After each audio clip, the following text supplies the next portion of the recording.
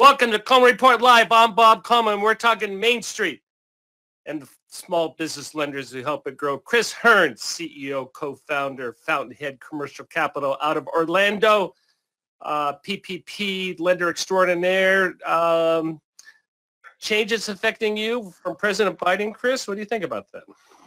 I think it's good. I think it's great that the administration and SBA are going to target these micro businesses. Um, I was actually telling Lance before we jumped on, we uh, we had been anticipating this for a little bit. We actually had created a new what we call our PPP Fast lane, which is specifically for self-employeds, which actually automates the process. So we're we're expecting that this is going to be uh, very very helpful to a lot of these folks who have otherwise been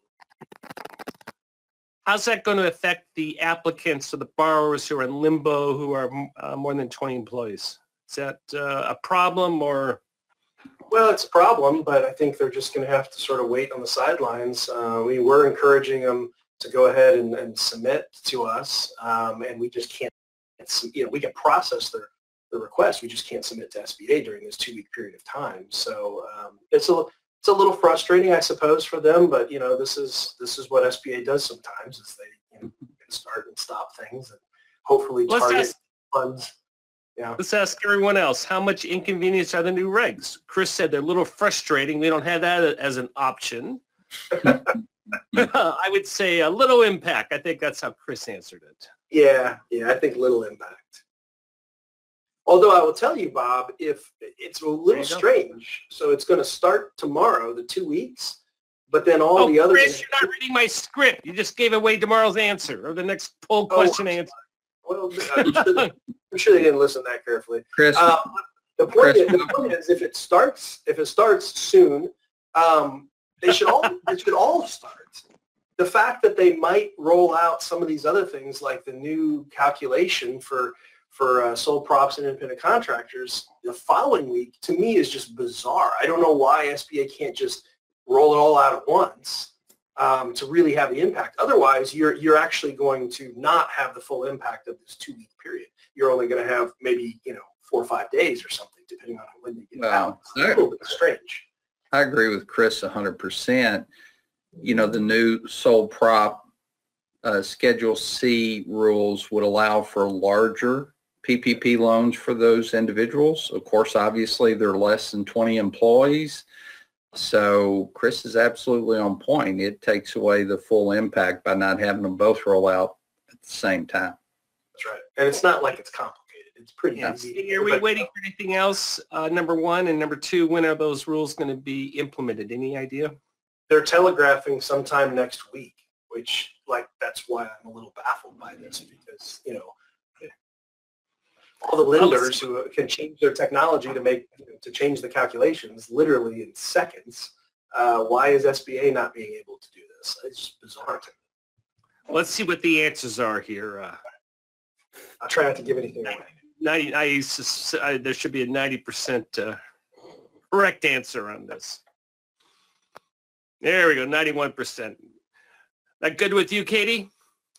Yeah, sounds like most people are paying attention. Uh, I think we probably confused them toward the end with that 5% from March 1st. I think they're probably thinking about the other aspects of it, uh, which are supposed to come sometime early March.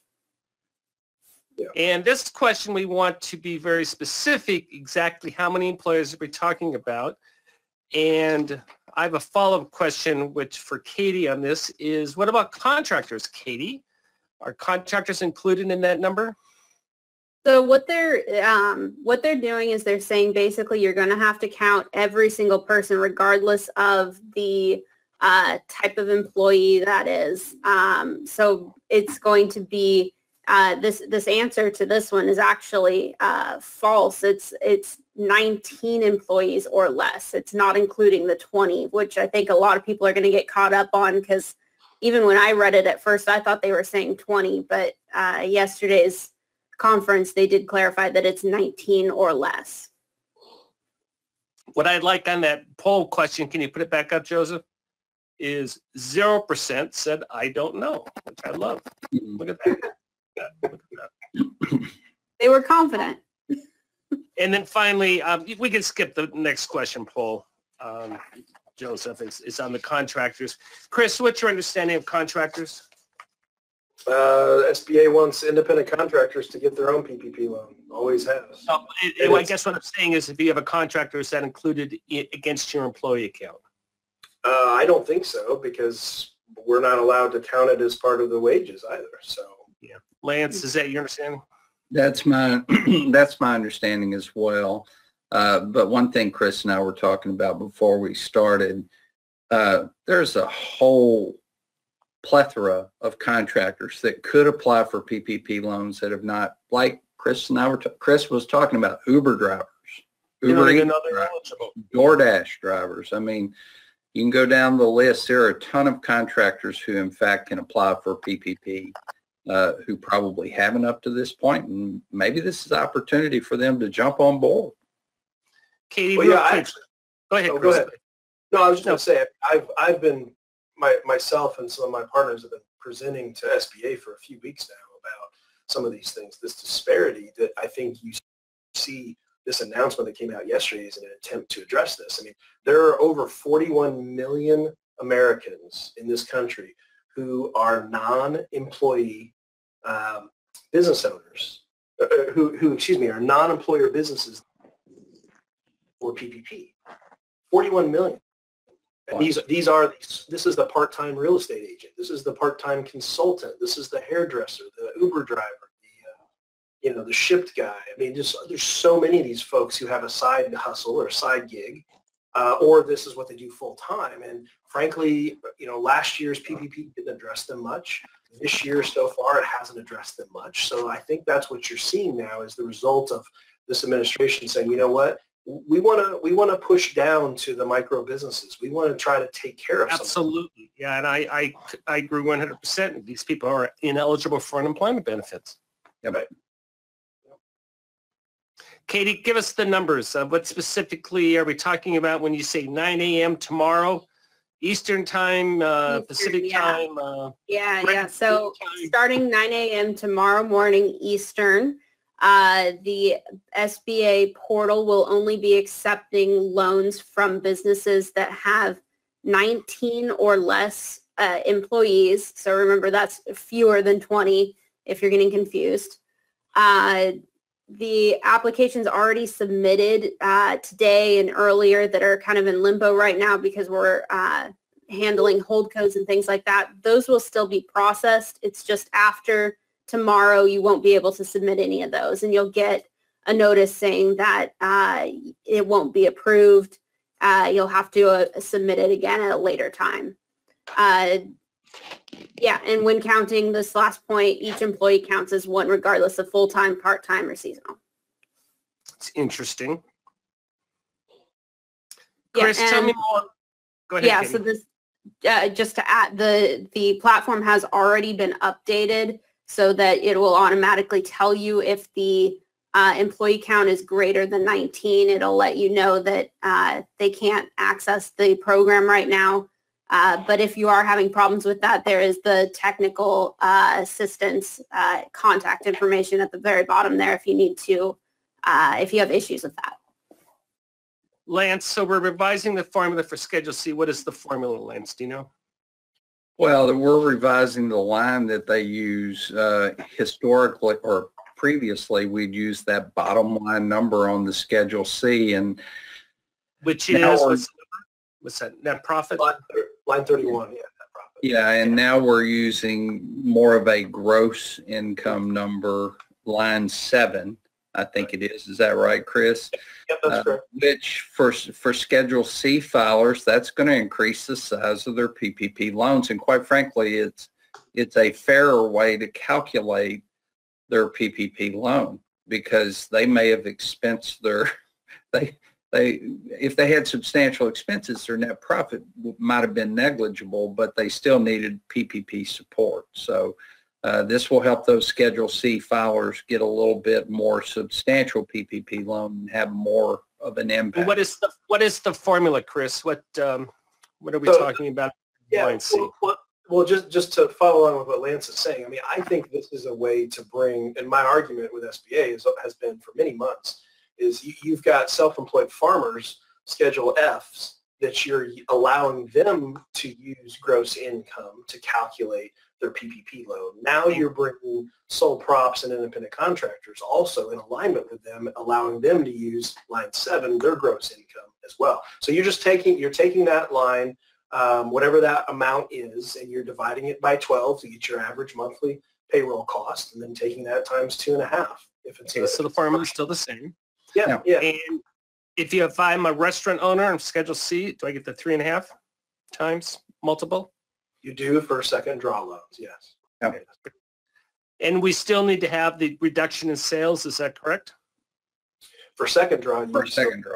Yeah. that's- sales. Yeah. Katie, and what are we talking about this last bullet point? Additionally, $1 billion will be set aside. I just, Yeah, Tell so me more this is just, yeah, that's just an extra set aside. It's not them adding money or taking away money. It's just guaranteeing that at least $1 billion will be set aside for Schedule C applicants uh, with no employees that are located in low and moderate income areas. And they were saying to check that, you're going to use um, the HUD to see if you if you need to use to find out if they're in the low moderate income areas.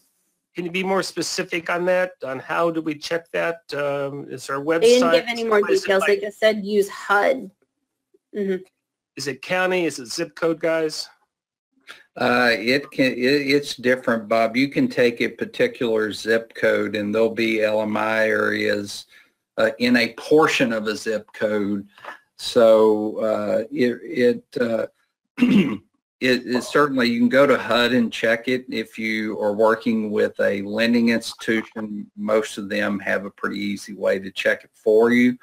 Uh, but you can use HUD's website or ask your banker. Does the, does the website, is this the website that allows you to put in a specific street address and it'll pop up whether it's eligible or not?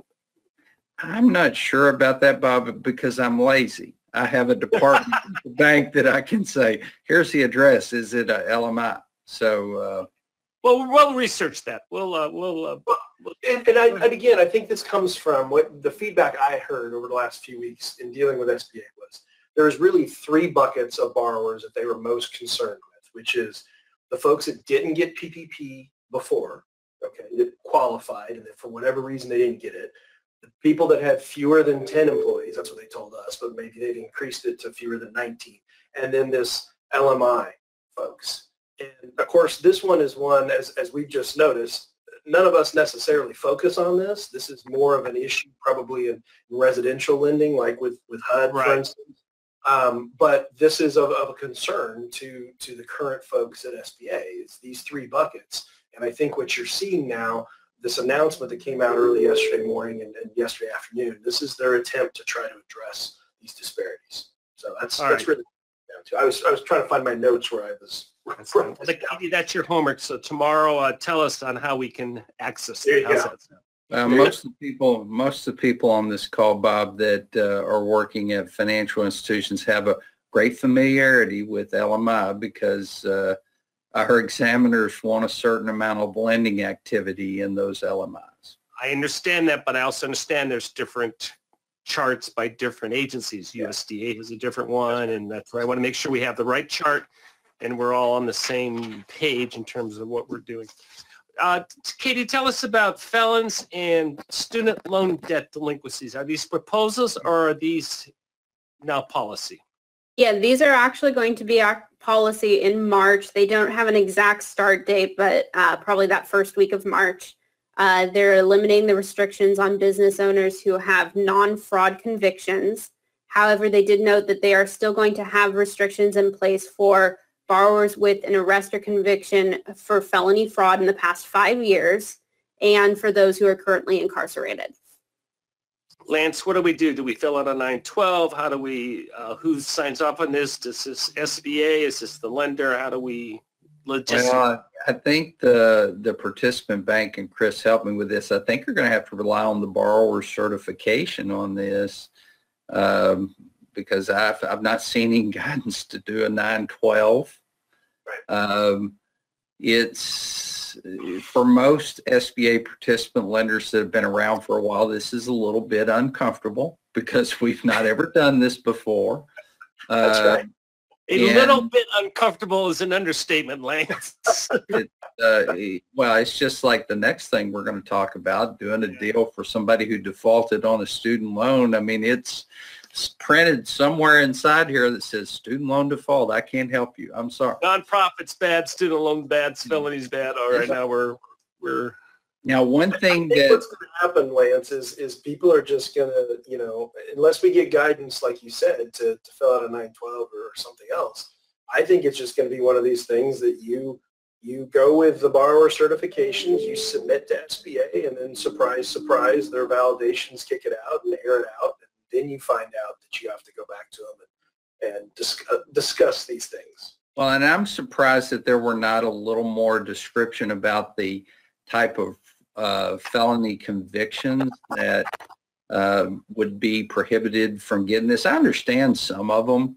You know, somebody that gets a, a felony DWI five years ago, well, that probably shouldn't be excluded from the program. But there are some types of criminal activity that may or may not need to be in this group um, that uh, so I mean again it's pretty uncomfortable I think most of you are going to have to rely on the borrower well you're going to have to rely on the borrower certification unless we hear otherwise from SBA yeah, and I, I know they talked about uh, uh, uh, child-related felonies. I assume those are excluded. Yeah, um, and you know, it's sort of a common sense type situation. I think the standard is back. At the, again, the lender can choose to do this or not to do it. Correct, Lance?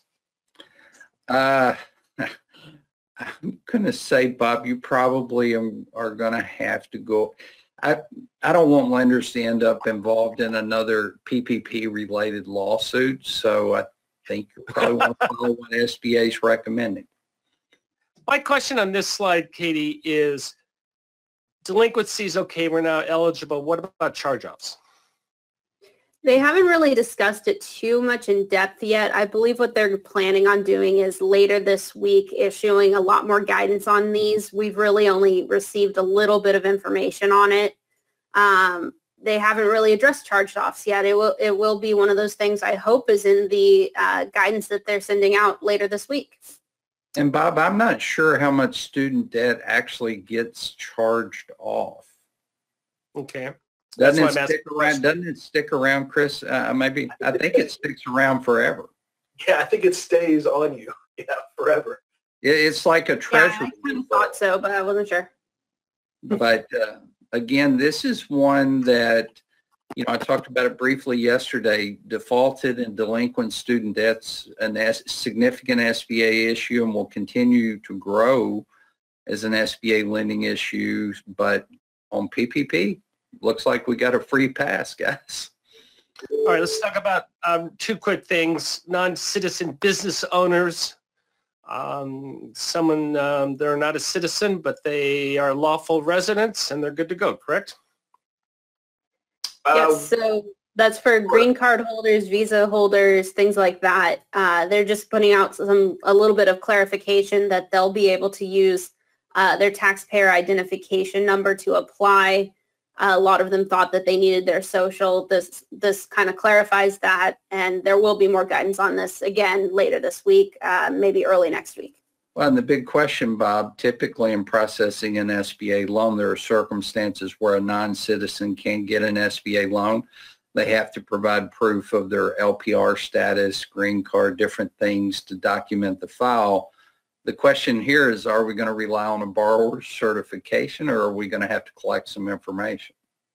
Well, there's there's also the issue of you may recall last year in the first round of PPP, if you were a non-citizen but you were the business owner and you had domestic payroll, you actually had to go and get a separate tax ID. You had, there was a separate way to go to SBA to get that tax ID number to, to allow you to get an approved PPP loan. They have not been allowing that this next, this round that we're currently in. So I think this is an attempt to maybe address some of that in addition to clarifying that yes, in fact, if you are a legal permanent resident with a green card, you absolutely are eligible for a, for a PPP loan, just like you could get a regular SBA loan. Um, visa holders is probably a little bit more of a stretch because there's different types of visas. That's not something that historically has been eligible for SBA lending. So, I, but I really think that issue about the international business owner who has domestic employees, I'm hoping that this will be part of this this clarification of these regs. Yeah, and I don't have the stats at my fingertips, but the largest pool of new entrepreneurs, new micro businesses are come from traditional um, non-citizen uh, entrepreneurs. So we are going to be revising the bar application, Katie. I don't quite understand why this is important, but uh, it's going to happen. Yeah, so it's actually, there's already a new one out right now that's uh, really the only changes. They have moved that optional PPP borrower demographic to the first page in a more prominent area to try to get more people to fill that out. Uh, But they will be revising it again to reflect all these changes as soon as they issue all the rest of the guidance that's going to come out with all this stuff. Very good.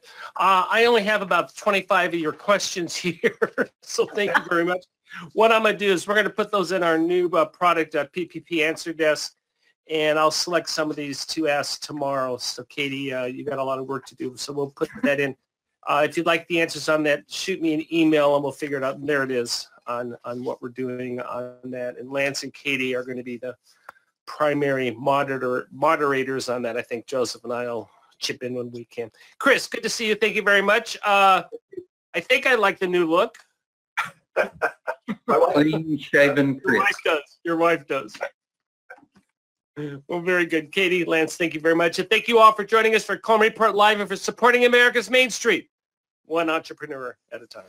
Have a great day. take care. Have care. a great everybody. day.